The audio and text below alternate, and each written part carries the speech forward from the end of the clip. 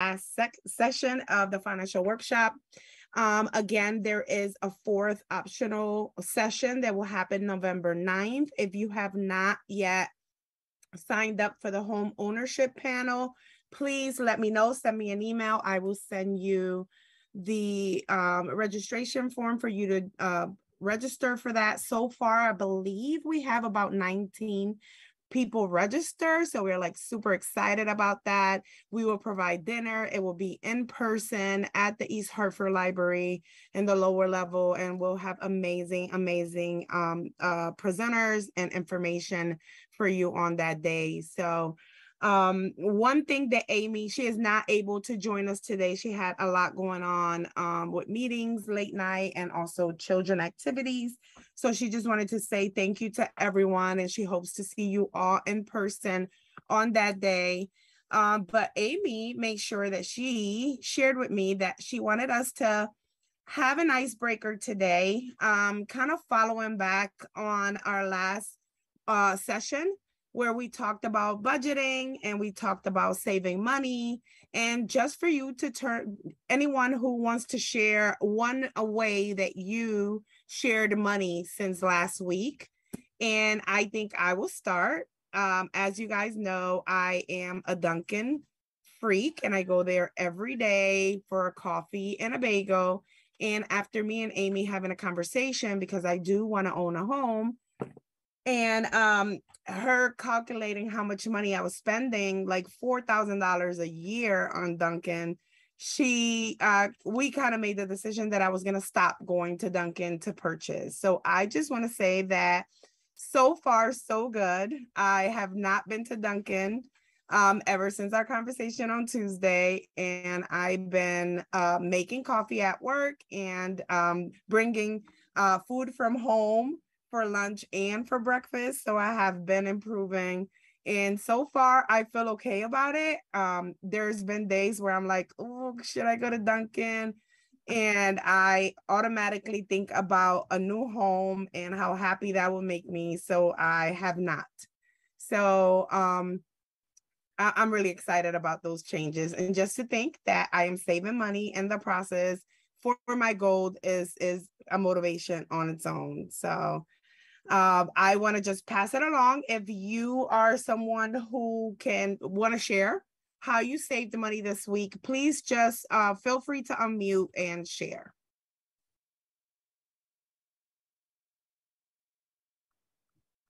Um, I um, I'm a, I'm a big like Amazon shopper. I have two kids and work, and so it's just so easy, like two click, and that's it. He can be there in two days. So I've I'm on a an Amazon freeze for the next two months and just because I think it's it's a lot of impulse buy. I mean, you need it, but you don't really need it. So I uh, I gotta stay away from that. It's just too easy. Awesome. Congratulations. Yes. Who else have a story? Hi. Um, I will say that I revamped or revised my budget for November. Not yet for October, because I feel like I've already done pretty terrible for October, but I revised it for November. And I'm ready to actually go back to sticking to my budget and planning Awesome. in advance. So yeah, that's what I'm doing. Yay. Congratulations. Who Thank else you. would like who else would like to share? Hello, my name is Jackie. I um I'm a I'm a bored spender. So I've been to the store um several times since the last meeting, but I did not bored spend. I only bought what was necessary. So that's a very big step for me. Yes, that's awesome. Yes. Thank you. everyone. My my name is Alexandra, and I would like to say that I've come a long way um, towards saving my money because I used to be an impulsive spender. I used to buy things that I didn't really need, and so um, since the last meeting, I've just realized and then evaluated my spending and then realized that I don't really need all these things that I've been buying. And so some of those items, some of those items uh, giving them out to people, selling them at a discount price, um, items I don't really need. And there's also this um, thing with my bank card that I can also save um, a percentage of my money whenever I use my bank card. So whenever I use it, um, let's say like 5% is going to go into savings. And that one, um, that um, the savings, I'm not going to access it anytime soon. So I believe I'm doing great in my financial life um, towards my saving goals. Yes, I need to talk to you. You're doing awesome. That is great. Thank you for sharing. Anyone else?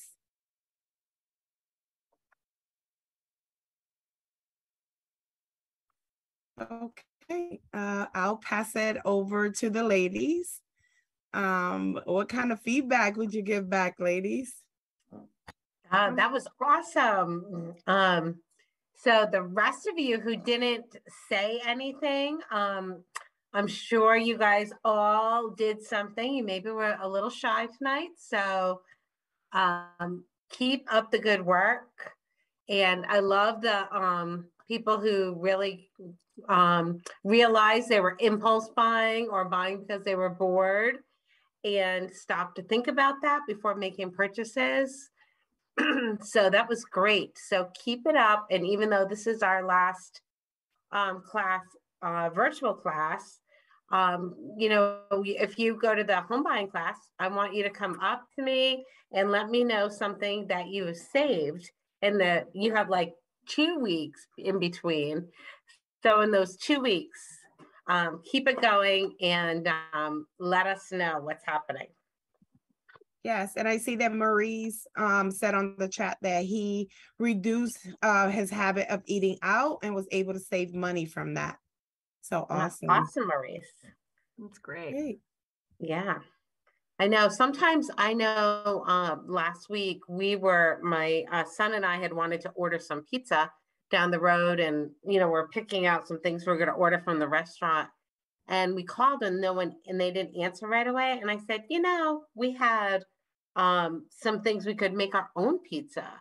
So we said, all right, we just did that and we ended up saving, you know, probably $40. So,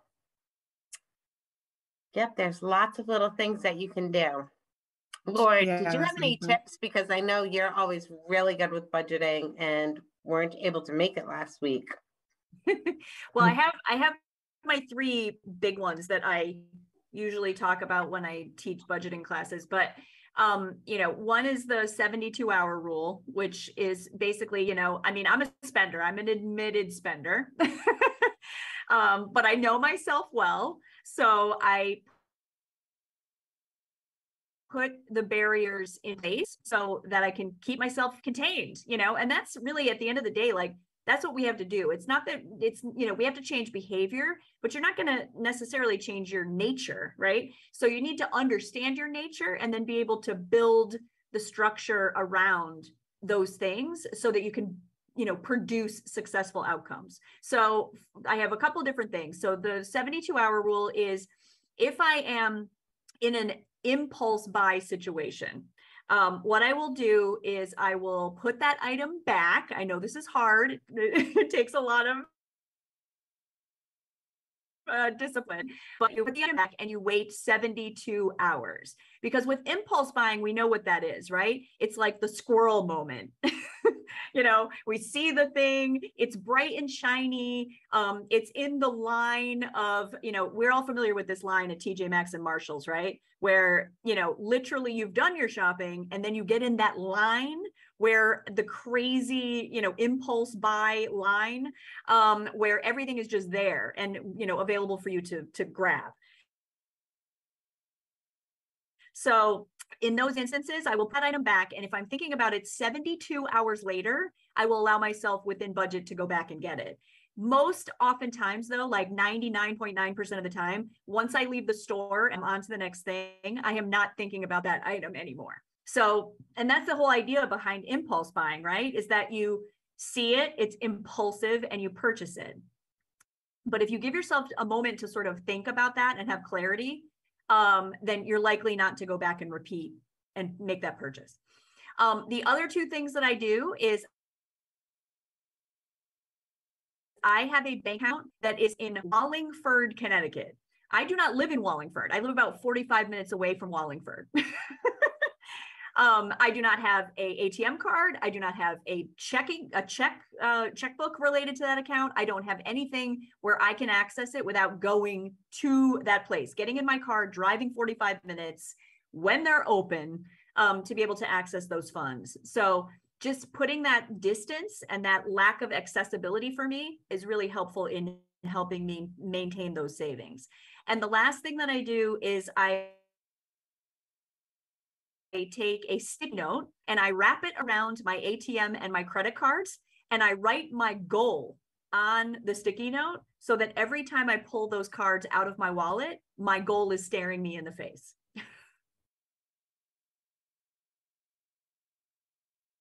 Wow, that is awesome. Those are great tips. Absolutely. I am going to steal some of those. I need it. I definitely need a bank account that is far away from me and I don't have no access to it unless I drive really far. And I don't really like to drive. So that will really Yeah, it does. It helps, makes difference. Yeah. Yeah. yeah. They make a difference. I mean, one of the biggest things is know, know yourself. You know, when you're doing your finances, it's very easy for us to tell each other to tell ourselves a story about what is actually happening um, we don't like to admit to the things that we're not you know incredibly proud of um, about ourselves in terms of our spending habits. And so we we create this narrative around it. And i think being completely honest with yourself about your behaviors and your triggers and really thinking about money as more than just a financial transaction but really thinking about it in terms of the psychological um, sort of impacts and how shopping makes us feel how you know the expenditure of money or how the products that we and services that we buy make us feel um, in our lives and and how our spending habits align with those things is really an important thing to keep in mind um, and then again creating those situations and the structure around those things so that you can build success despite what your spending sort of tendencies tend to be. Great. Thank you so much, ladies. And I will um, just lead the floor to you guys to start the session for today. Thank you. Okay. Well, I'm gonna I'm gonna kick this off, um, and I'm gonna give you a little bit of a claim, a little bit of a precursor before I start. So, tax law, as you guys know, um, people hear the word taxes and they hear and they are like, oh my god. It's you know it's overwhelming it's a, can be a little bit scary sometimes um, the law changes all the time um, so i want to just tell you up front that this will be a fair amount of information um, this evening if you have specific questions questions, please stop me or write something in chat. And Pam, I can't see the chat, so if you could um, maybe monitor that for me, or um, Yadira, sure. if you wouldn't mind doing that e uh, either um, so that I can answer any questions that you might have. Um, I do not profess to know every single inch of tax law. um, tax law is enormous, but I will do my best um, to answer any questions that you might, might have that would be specific to you. Um, what we're going to talk about tonight is going to be sort of a general conversation about sort of the essential building blocks of tax law um, which is going to be um, your filing status, um, essentially what makes up the tax code, and a little bit about um, claiming dependents. And we're going to talk a little bit about those things in general. We'll talk about some tax credits, um, and then we'll get to any questions that you might have. Does that sound like a plan, everyone? Okay. All right, cool. Okay, so we're going to get into filing basics first. So basically the process, right? So we all know that when we file our tax return, we are submitting what is essentially one form, um, which is called our 1040. Okay. Um, now, what happens though is you're going, well, Laura, you know, I have all these documents that I get when I file my tax return. There's all these schedules and there's all these other documents that are related to it. Um, but those documents actually are the pieces that make up, right? They're going to inform the 1040. The document that the IRS really cares about is that one document. Okay, so what does that document include and how do we sort of get to the I owe money or I'm getting a refund back? so we'll go to those basic processes first. So what um, the return is going to ask for is your demographics. That's the top of the return. So the first thing you're going to see is your name, your social, your marital status, all of those kinds of things. Keep in mind that the marital status, when they ask you if you are married or unmarried, they are asking you if you are legally married. okay. And this is a really important distinction because filing status that you are putting on your tax return is again a building block for the rest of the return.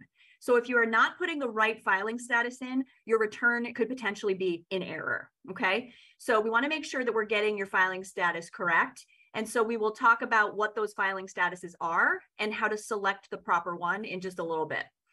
The next piece is going to be your income, okay? And that's made up of what you earn, okay? And also your sort of passive income or unearned income, okay? So we're going to talk about the differences between those two things, okay? And then that total is going to be what you're reporting to the IRS. Keep in mind, the IRS wants you to report all money, okay? Unofficial and official, okay? There's no such thing at the IRS as under the table. doesn't exist for them. Um, they want money to be reported. okay. Um, once you get all of your income in there, we're going to do what's called adjusting your income. Okay. So that means um, that if there's particular uh, credits that are going to apply to you, they are actually going to take that income and reduce the amount that you're reporting by that amount. Okay. So I'm going to have a visual of this in just a minute to make this a little bit easier to sort of, you know, a visual to help you understand. Um, but that's going to be what's called your adjusted gross income or your AGI. Okay.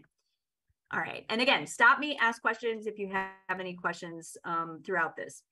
Okay. So once we have the AGI, okay, then what they do is they are going to apply either the standard deduction or the itemized deduction. And when you're filling out your tax return, um, this is an automatic calculation. So it's not a number that you necessarily need to remember. Okay. The key is, is to understand if you're supposed to take the standard or if you're supposed to take the itemized deductions. Now, when the law changed a couple of years ago, so when President Trump was in office, he doubled the standard deduction. So that actually pushed a lot of people, including myself, um, out of the itemized deductions because when you use itemized deductions in the past has been typically when you own a home. And when you own a home, you have a lot, especially in Connecticut, a lot of expenses related to the home ownership pieces. The taxes are very high um, and all of those kinds of things. So with all of those expenses, you were able to take itemized deductions. But what has happened is, is because um, the, the, Trump uh, administration doubled the standard deduction, many people now fall into the standard deduction. And that's not necessarily a bad thing. It just changes the amount of money um, that is being reduced from your adjusted gross income. So this is essentially when it comes down to it, a very big math problem that we're going to talk about just a little bit. Okay. Um, so once you have subtracted your itemized or your standard deduction, then they are going to apply tax credits to you if they are applicable to your particular situation. Okay.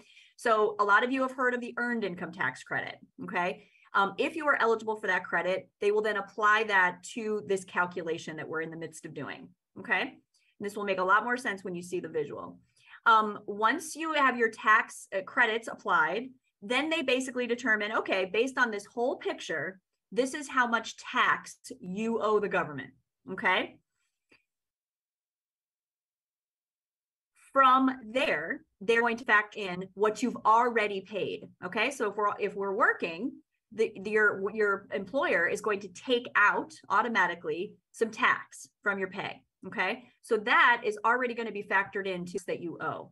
So the government subtracts that out because you've already paid it in through your payroll deduction. Okay.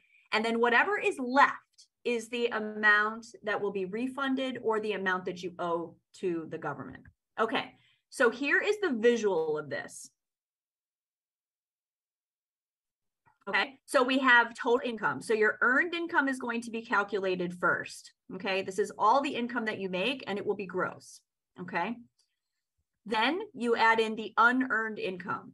Okay, so this is going to be things like unemployment or um, uh, trying to think of another example, but like unemployment would be the perfect example of that, of unearned income. Okay, so they're going to add these two things together to get what they call your total income.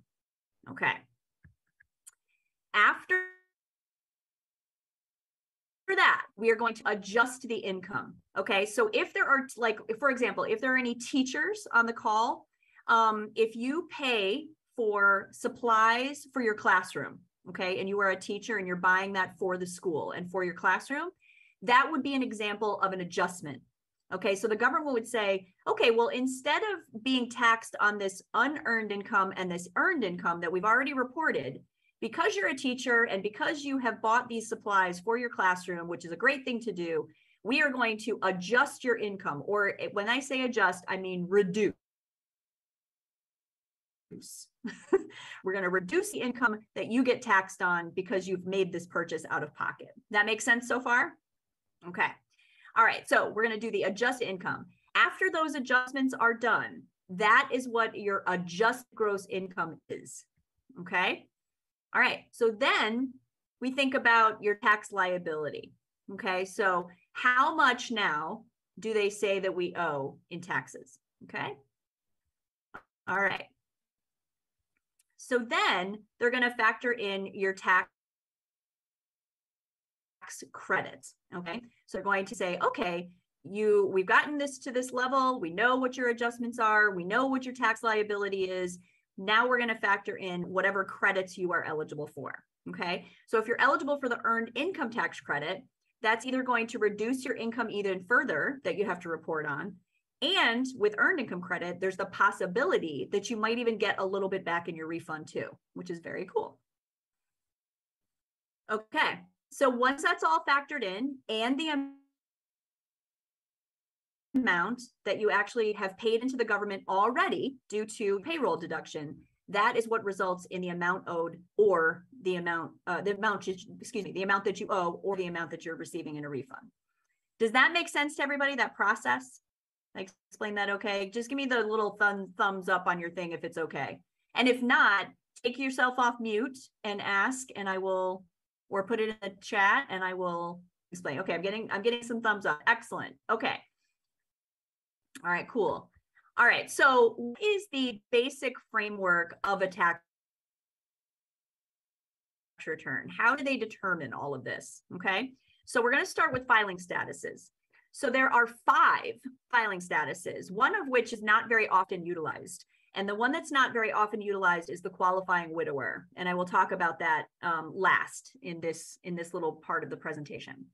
Okay, so we'll start with single, but what I want to what I want to point out on this slide is essentially that the determination of this of what your filing status is and what it properly should be is essential to the accuracy of your return. So it's really really important to get this part correct. Okay, and a lot of people do not. okay, so what we are looking at here for single is on December 31st of any tax year, okay, single means, and by the way, I just want to point this out um, as an aside. These are legal designations, okay? So what I mean when I say you are not married or you're legally separated or divorced, that means that you are in the legal system a single person not that you're living separately from a spouse that you are married to. okay. So, in order to take single, you are not married in the eyes of the law. You are divorced or legally separated, or you are widowed. Okay. In this past tax year. Okay. So, that's what single means. The second one is married filing jointly. So, we have married people, legally married, people, not just people living together who say that they're married. um, so married people, legally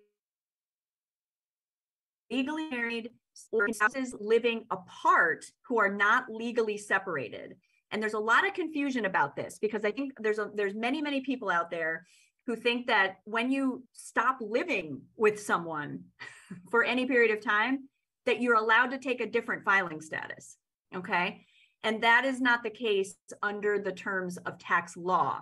Okay. So if you are still legally married, but you're not living with your spouse, you should still file as a married person. Okay. And that can be married filing separately if you don't have that person's um, financial information or social security number.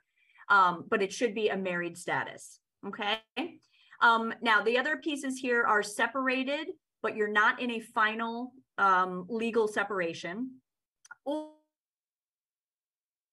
Or your tax taxpayer spouse died during the year and the taxpayer has not remarried because what they will do is if your spouse has passed in the tax year so for 2022 when we go and do the 2023 tax return if your spouse was alive at any point during 2022 they will allow you to claim the married filing jointly status as you did when your spouse was living um, they will allow you to take that status in that in that tax year okay and that's what I was just talking about there. Okay. Um, so married filing separately. Now, this is a very interesting tax uh, situation. So, in the eyes of the Internal Revenue Service, the the married filing step status is one that causes some red flags. Okay. And the reason that this causes some red flags is that the IRS will be like, hmm, why do married people want to file a separate return from each other? Okay. And there's usually a couple reasons why that would be the case. One is that we have a debt that we owe. Okay. That's probably the most common one. Okay. So one of the spouses, and it would be a federal or state debt. Okay. So one of the spouses might have back child support, one of the spouses might have back taxes, or they might have back student loans. Now, notice these are all federal or state um, debts that are owed um, to to the government okay and once that happens the government is able to then come in and take the refund okay um, and that's usually not a great situation for anybody and so then what happens is, is that the spouses want to file separately rather than file jointly Okay. Now, this is a very legitimate filing status. There is nothing wrong or illegal with filing a separate return for that purpose. But just understand that if you do it this way and you have children who are eligible for earned income tax credit, that you will not be eligible to get earned income tax credit because the government does not like particularly care for this status, even though it is a legal status. um, and so they will then provide some, um, you know, basically, you know, give people a little smack on the wrist um, by by keeping them tax credits for filing this way. Okay. All right. So uh, that's a married filing separately. Oh, separately. So if you are a married person, you have two options: married filing jointly and married filing separately. Okay, and that's what I was just talking about there, the married filing separately piece. Okay, our third status is head of household. Okay, now, this is a very popular filing status, especially in the volunteer income tax assistance program. What I will say though is that there there's a distinction between being the head of your household or the person that is kind of in charge there and utilizing this as a filing status. Okay. So in terms of a filing set, you're only eligible for head of household as it relates to a qualifying child or a qualifying relative. Okay, so you cannot claim a head of household filing status if you do not have people you are claiming, okay, on your tax return. You also must be unmarried on the last day of the year. Okay, so um, you can't be a married person and filing file this status, except for if you meet this one criteria. And that one criteria is, is that you are a person that has experienced abandonment. And when I say abandonment, what I mean is, is that your spouse has left the home and has not returned in the six months that are the last six months of the year. Okay. So they have to leave in July. Okay. And then they are not to, they, they, they have not returned. Okay. But if you are currently living with your spouse and you have not been divorced, then you are not allowed to claim this filing status. Okay. Um, the other thing is, is that there's only one head of household in a household. Which means there are not two people who live together who can file a head of household filing status. Okay. And that's because what this means is that um, the taxpayer, because the last rule here is that the taxpayer must have paid more than half of the cost of keeping up the home that was the main home for the qualifying children or qualifying relatives, only one person typically is doing that, um, providing over half of the expenses. And so that's why only one head of household per uh, per household. Okay, does that make sense? Any questions thus far about this? Okay, I will keep that moving. All right, um, this is what I was just talking about. So, um, and in terms of custodial parents, so if we have children who are residing um, in multiple households, so we have two sets of parents, um, one, the child lives with parents, uh, one parent half of the time, with the other parent the other half of the time.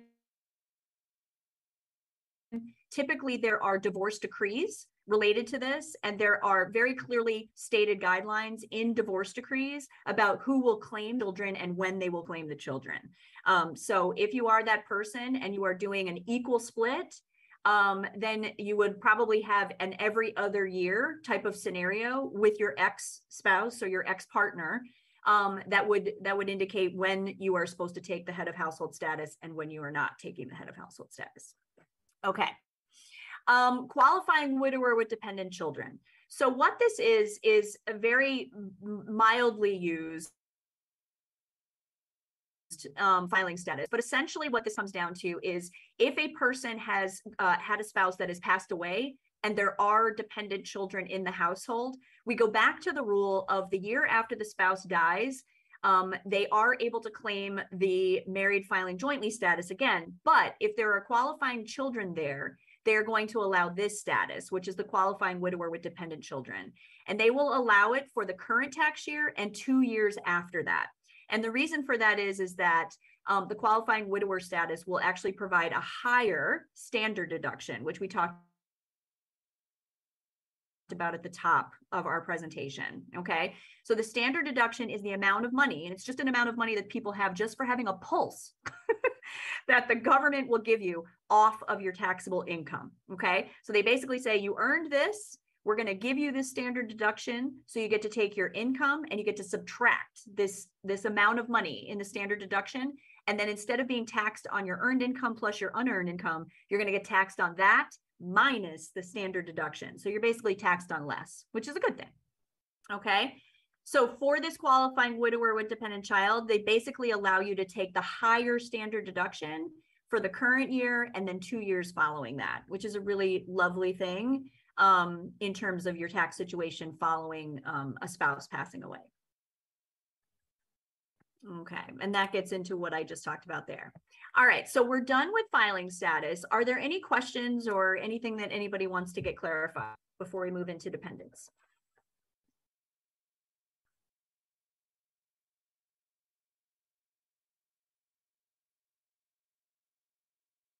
Okay, nothing? Okay, so dependents. All right, these are people that live in your household um, that you are supporting financially. Okay. And so one is called a qualifying child. That should be fairly self-explanatory. It's it's your younger children who are meet a couple of different criteria. Um, the IRS, of course, would not be the IRS if they didn't have complicated rules around who qualifies for what. So we'll get into a little bit about who qualifies as a qualifying child in just a second. And then there's also this other category that is called a qualifying relative. And that deepens the, the water and muddies the water just a little bit more. So we'll get into what a qualifying relative um, includes in just a second. Okay, so who is a qualifying child in your household? Okay, Um, key here and the Internal Revenue Service is that when they set up rules and when they write this tax law, um, very frequently they want people to meet all, and that's why you see they all underlined on the slide. They want people to meet all of the tests, not just one or two or three of them, but all of the tests in order to have this apply. Okay. So for qualifying children, there's a couple of things. We have to have relationship and we have to have residency. Okay. So what does the uh, relationship mean? It means that we are either blood related to the child or we are related by marriage to the child. Now, a couple of other things that can happen as well is foster children who are placed in a house uh, hold by an official agency. So that would also be a qualifying relationship um, for the relationship test. Okay. So one of those one of those three things should apply. Okay. The other piece is age. Okay. We have several different ages that would qualify as a qualifying child. So one is that they're under 19. This is just your standard kid that lives in the house. Okay. The next relationship is going, or excuse me, age is going to be 24 and a full time student. Okay. Not 24 and a part time student, 24 and a full time student in order to be up to that age limit. Okay. And then the third age is that they can be any age at all as long as they are totally and permanently disabled. Okay. So those are the three different ages that qualify for a qualifying child. Also, the qualifying child must be younger than the taxpayer. And I know that seems crazy that that would be a rule. Um, but people were, li- the reason all these rules exist is that people were finding loopholes to break them. so the more things get broken, the more rules they create. Okay. So people were trying to claim everybody as qualifying children. They were trying to claim their grandparents as qualifying children. They were trying to claim their dog as qualifying children. there was all sorts of things that were going on where now the IRS actually has to write down what a qualifying child is and that it has to be younger than the person claiming them. Okay. Um, also, the dependent cannot provide, and this is really important, the dependent cannot provide more than half of their own financial support. Okay, so I have a really old example of this that will age me beyond belief, but um, you know, I don't know if you guys remember like Miley Cyrus, um, you know, who was on that show. She was on that show for a little while. I forget the name of it now, but um, so Miley Cyrus was like 16 or 14 or how old she was, but she was making a lot of money um, working on that TV show that she was working on. So then the question becomes can her father, Billy Ray Cyrus, claim her as a dependent on the tax return? Okay, because she's making all of this money. The key here is that if Miley, even as a juvenile, is providing more than half of her own financial support, like AKA paying for her own housing, paying for her own food, paying for her phone, all of those pieces, transportation and all that stuff, then even despite the fact that she's the right age, Billy Ray would not be able to claim her on the return. Okay. Now, if she is taking that money as a minor and she is socking it away in a savings account for a later time when she's an adult and she's not using any of that money to support herself, then Billy Ray can claim her. Okay. So the key there is about the support. And what you're going to find with tax law is that that's a really important piece to tax law. If you are providing more than half the financial support to your children, um, if they meet these age criteria, then they will allow you to claim the person. Okay. The other big thing is residency. So a child must have lived with the taxpayer for more than half of a tax year. Okay. So it's six months a day, essentially, right, is the minimum amount of time. So that's a really key piece. Now, you might be thinking to yourself, I have a college student. They're at their college dorm for more than half the year. That's okay. If they're a college student and they're a full time student living on campus, they would still have their permanent residency with you. So you can still claim that child with the residency clause. Okay. And then there's a little thing about the at the bottom about a tiebreaker rule. Again, this gets into divorced um, or separated, legally separated parents who might claim uh, who have a custody agreement in terms of who they claim. Um, so just keep in mind that there are tiebreaker rules. And if you are someone who shares custody, to follow the um, custody agreement that you have in place. Okay, so here's the helpful acronym with claiming dependents. So it's called SARA. Um, so just to remember these key pieces. So support, more than half the support is very, very important. The right ages, again, that's 19 and under, 24 and under, and a full-time student, permanently and totally disabled. Okay. Relationship, they have to be your blood or by marriage or if an uh, officially placed child in order to have a relationship. Residency, they have to live with you for more than half the year with the exclusion of kids that are in college. And it, I forgive me, also military. If there's a young person that still qualifies under these other rules, military would also apply as well. They must meet all of those tests and they have to have more than half of the year with you. Okay. So again, these rules exist because people were breaking them um, in, in years past. So um, just important thing to note there. Okay. Any questions about dependents at this point? also really, really important. And it can cause a lot of difficulty with rejected returns. Okay. So, for an example, what happens in VITA is that we will have a parent come into the tax center, they will fill out a tax return, and they will list dependents on it. We submit it to the Internal Revenue Service and then it rejects and it bounces back to us. And what, what it often will say is that this social security, this child's social security number was already used on another person's tax return. Okay. That is problematic. Um, so that's when we have to get into it with the, with the taxpayer and figure out, okay, well, who is actually the legitimate claimer of this particular dependent? Okay, so that's when we have to ask about are they the right age? Are they meeting the right criteria for more than half the support? Are they meeting the residency tests, right? So if that's the case and you've put a person on your return in error, you are going to have to fix that. And then and then it could end up with the Internal Revenue Service having to sort that out um, once the returns have been submitted because if money is, you know, if if refunds are are given as on the basis of that, and then the wrong person has received the refund, there has to be a payment back and we have to rectify that situation. And that can take a very long time to sort out. I don't know if you guys have dealt with the Internal Revenue Service in terms of their processing times, um, but they do not process things very quickly. Um, so it's it's better to have this information up front and kind of know what we're talking about. Okay, so the next thing is taxpayers with ITIN cards. And I don't know if people know what these are, but an ITIN card is a, and it's actually a letter, it's not a card, but it's an individual taxpayer identification number. So this is for non-citizen filers um, who do not have residency in the United States who are working here and filing a tax return. Okay. Um, so if I have an ITIN, what we are going to do is we are going to apply that number first in lieu of the social security number. And because the IRS would still like a person to file. Um, and so we will use that number to file the tax return. If you if you need an ITIN, our VITA sites can actually help you apply for an ITIN. Okay. Just stop if, if you have any questions. This is a lot of information as I said the disclaimer at the beginning. okay.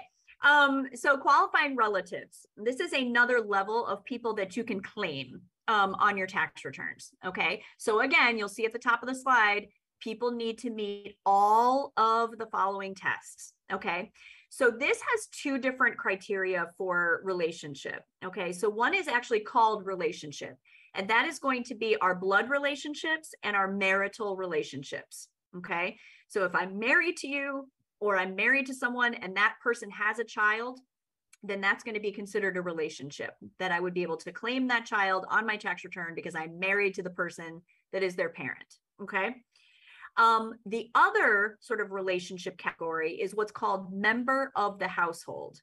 Okay. So you can claim someone who is considered to be a member of your household as long as the other criteria on this slide are met. Okay, because we realize, um, I work at the IRS, I work for the village, but the IRS realizes that there's relationships in which people are just living together and someone is providing support to the other person who's living there. Okay. So in those situations, they don't want people not to be able to be claimed. So they've created these two different relationships, which are again, relationship, which is blood, blood or marriage, or this member of the household status. Okay. Um, so with member of the household, you can actually live in the house. Okay. Um, if you are an unrelated person, so let's say that Pam and I live together, we're not married, um, we're just rooming together. If that's the case, and Pam lives with me for 12 months out of the year, and the rest of these rules are true, so she earns less than $4,300 in the year, she's not my qualifying child um, or the qualifying child of another person who might be claiming her. And I provided more than half the support to her, AKA rent, food, all of those pieces, then I can claim Pam on my tax return as a qualifying relative. Okay. Now, if it's my sister, my blood sister, okay, and she lives in Boston, which is true. My sister lives in Boston. Um, so if she's my sister and all of these things also qualify, so my sister is earning less than $4,300, she's not the qualifying child of, uh, you know, of me or of someone else. Okay. And I provided more than half of her financial support during the year. I can also claim my sister, even though she lives in Boston, because she is my blood relative. Okay. So that's a really important distinction. So if someone lives outside of the house that you are supporting, they do have to be related to you by blood or marriage. Okay. All right. I hope this is clear, but if it's not, please, please, please stop me and ask questions. Okay. All right. So the dependency exemption, again, this gets into children of divorced, separated, or never married people. Again, there are usually agreements that are come to um, when people separate and there are children in the mix. And it usually involves claiming one year on and one year off. Okay.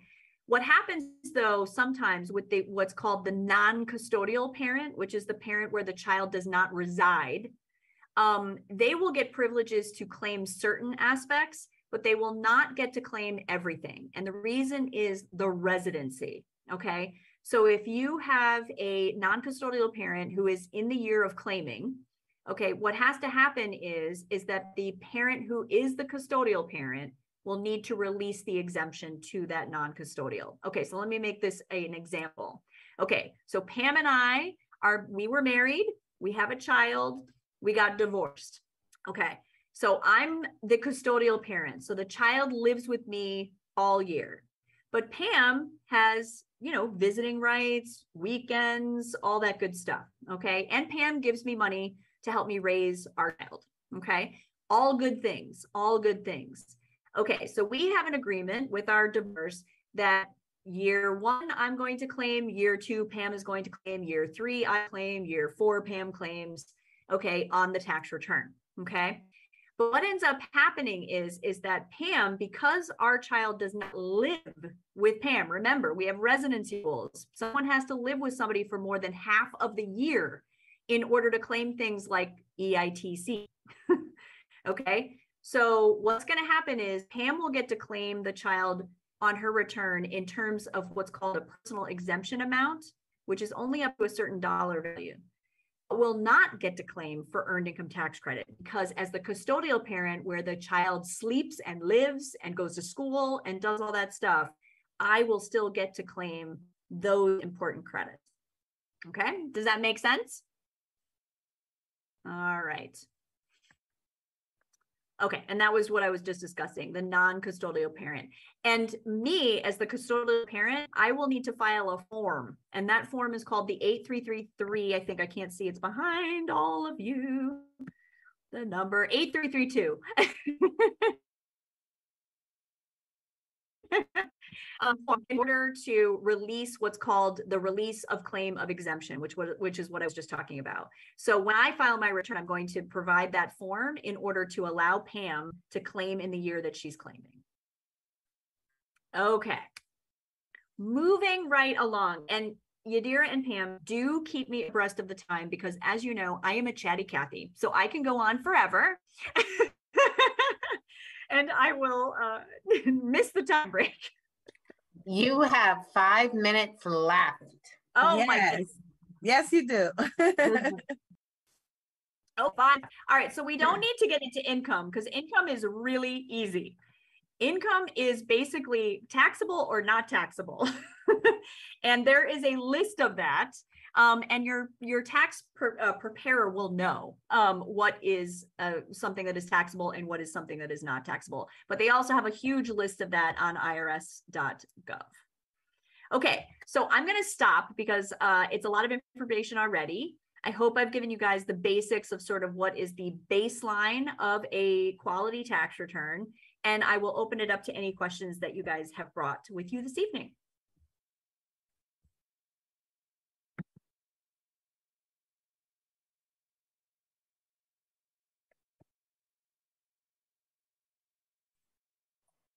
You guys are quiet. That was I a lot of information. Yeah, that was a lot. Question. And you can always put it in the chat. that was a lot. Go ahead. Huh? Laura, what Yes. is the, I have a question for you. What is the um minimum, no, the, yeah, minimum amount you have to make in order to have to file? Oh, that's a great question. And my my updated 4012, which is our which is what we refer to in Vita lovingly as the Bible, um, with all the tax law in it, um, is not out yet. Um, it comes out in in uh, right around Thanksgiving, but it's usually around about twelve thousand dollars. Um, it's and could be a little bit up from that at this point, um, just because you know every year there's sort of increases, incremental increases to that. But um, but yeah, I think it is about twelve thousand dollars if you're a single person. That you if you make under that, you do not have to officially file a tax return. Now, don't quote me on it. IRS.gov is your friend. So if you need to know, look that you can look it up on IRS.gov. But it might be worth it for you to still file to get a credit. Is that true? That is correct. Yeah. Okay. So, you know, if you are eligible for things called refundable credits, okay, so not all the credits are refundable. Some of them are called non-refundable. All right, so the difference between those two is refundable means that actual cash um, might either be reducing how much you owe the government or it's actually going to be money in your refund check. Okay, so that's the refundable part. If it's non-refundable credit, what it's going to do is it's just going to reduce the amount of tax that you owe. So it's not going to necessarily come back in the form of cash to you in your refund, but it will reduce the amount that you ac- actually owe them or your tax liability as we that. Thanks for those questions, Pam. I think Alexander um, must have probably had a question and I interrupted. Do you have a question that you want to post?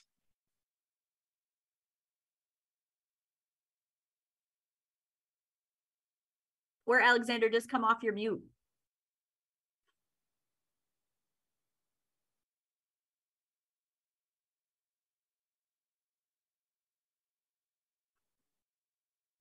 Okay, maybe not. All right. Well, the other great thing about this is two things. Um, the great thing about this is is that if you go to a reputable tax preparer, or if you come and utilize Vita services, volunteer income tax assistance. we are trained and certified every year. We have to. I've been doing tax return preparation for 20 years. Every year, I have to get recertified with the Internal Revenue Service. Um, I have to pass a test. I have to take an ethics exam. I have to do the whole thing every year in order to do volunteer income tax assistance. Um, so that's a really good thing. So if you go to a reputable preparer, you're going to get all of these eh, eh, questions answered for you. But what we like to be able to do is empower you, right? Because you're, you know, this whole series, this whole three part series is really about about giving you the information that you need to be able to function in your life financially independently right? And if even if you don't have all the answers you know the right questions to ask right? So the reason i want you to know about filing status the reason i want you to know about the proper way to claim dependents is is that when you go to your preparer if you don't feel comfortable doing it yourself you know the questions to ask them. And you know and you'll know like huh well you know i learned that dependents are supposed to be claimed for this and you don't have a dependent on my return. What is that about? You know, so even if you're not doing it yourself, you have the information at your fingertips to be able to go, I'm an informed consumer. I know what I'm what I want to ask you out. I'm aware of what my financial status should be. So answer this question for me, would you? Um, so that's the really important thing here. And that's the part of empowerment that we're really trying to provide in this in this series, right, Pam? Exactly. And um, so, yeah, the more you can learn, even if it's one little tidbit of this tax information, someday will come in handy for you. And you'll be like, oh, wait, I heard that. I think I can claim that. Or Your dog agrees. yeah, he agreed. agrees. Your dog agrees. that was cool. that was I have perfect. done that. But I listen to this um, whenever Laura talks about taxes. I learn something new every time. So, Yeah. um, oh, I did have one question too, Laura. That um, for what is the income, um, the maximum amount you can make to come to use VITA to do your taxes? Yes, thank you for that. So it's sixty thousand this year. Um, they Oh. up it every they up it every single year. Um, the um, and what we utilize is the cap for the earned income tax credit. Um, that's how we determine, um, you know, if you're eligible for VITA or not eligible for VITA. Now, that being said, if someone came to us with sixty-one thousand dollars or sixty-two or even sixty-five, um, we're not going to turn that person away um, because you know clearly you've come to utilize VITA um, and we want to be able to help you. So, um, you know, but what we want to avoid is someone that makes a lot of money um, coming to VITA Mhm. when they could, you know, use a paid pair or an accountant or something like that. So, um, so yeah, so that's what it is. Um, again, it's sixty thousand dollars is going to be the cap for the earned income tax credit. So this is basically where the credit will phase out. So you would not be eligible for the credit after that dollar value. Um, and it's actually like, to be honest with you, it's actually like 59 and some change. We rounded up. Um, but at that point, it would not be a, a, a credit that you can claim anymore. Okay. Awesome. Thank you. And if by around tax time, by around tax time, if you think about, oh, wait, they said about somewhere I could go where I can get my taxes done for free, and you Yes. don't remember the name, know that you can always call 211 and they will direct you exactly where the VITA location is around you, around your location. And also think about me, Yadira. I know I have Yadira's email somewhere, and she will tell me what the name is and what the information is. We always promote it around the time of of tax season. So please always feel free to uh, look at me as a support and as a resource for anything that you need. I could always connect you to the ladies or connect you to any other resource um, that you are um, in need of. So again, thank you so much, Laura and Pam. This has been wonderful. You guys are absolutely amazing every time that we do this financial workshop is always amazing. I um um just put a challenge to you guys participating to always spread the word right? Talk about what you learned with family members with your friends with your kids and let them know right? Because you might uh, have learned or gained some knowledge that they might not be aware of uh, but always um, use pam and um, laura as a resource right? To always be able to to ask questions when you need to as I shared before, there is a fourth optional session that's going to happen November 9th at the East Hartford Library, 840 Main Street, um, lower level from six to seven. That will be amazing. It will be in person. You will get to meet the ladies in person and get to ask questions and just get to network. So please come out. We will provide dinner. Um, and if you do have small children at home, don't hesitate to not come because of that. Um, we will have some of our youth employment, um, youth babysitting in a room next door, um, and having activities with the kids. If you do have to bring them in, please don't let that be a barrier. Come on down and benefit from that information. So again, thank you so much. And I will stay in touch with everyone um, who was able to participate in all sessions and earn the gift card. You will hear from me on where um, and when to pick up. Okay. Okay. Thank you. Thank you, guys. Have a great Hope evening. to see you in a Thank couple you. weeks. Yes. Yes. Thank you, Have a everyone. good night. Okay. Bye. Bye bye. Thank you. Bye. Bye.